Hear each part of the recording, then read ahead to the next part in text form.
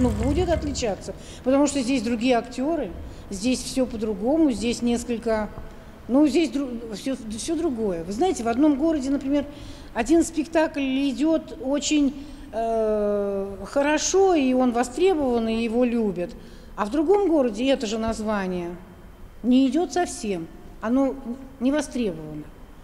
Ну, я же новый человек в этом городе, я не знаю. Я знаю, что в Иркутске, например, этот спектакль идет очень хорошо. А как здесь он пойдет, не знаю. Мы будем стараться, чтобы достучаться до публики, чтобы как-то ее задеть, как-то ее расшевелить и как-то ее взволновать. Это ведь складывается из всех настроений всех а, артистов и всех, кто занят в спектакле.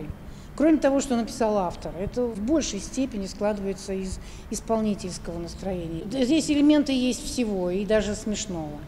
Есть много элементов э, мелодраматических, много слез, потому что ситуация такая. Есть и трагические элементы. Из элементов, из чего состоит наша жизнь. Трупа мобильная, трупа хочет работать, это самое главное. Если артист выходит и заинтересован в работе, у него все всегда получится. Не сегодня, так завтра, не завтра, так 25 числа. Ну, получится обязательно. Но для семейного просмотра это подойдет. 12 плюс у нас заявлено. В принципе, ничего там такого, никаких тем сложных не обсуждается. Все темы человеческие, э, человеческого бытия такого, э, с одной стороны, достаточно простого, с другой стороны, это как раз вот та ткань, из которой наша жизнь состоит.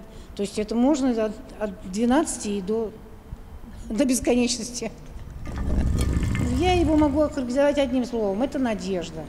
Надежда, которая всегда теплится в человеке, в каких бы сложных э, человеческих, э, житейских передрягах он не был.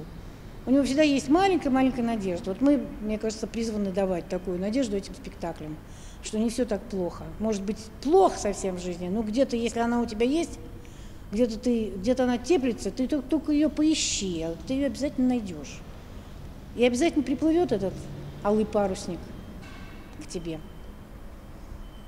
Все?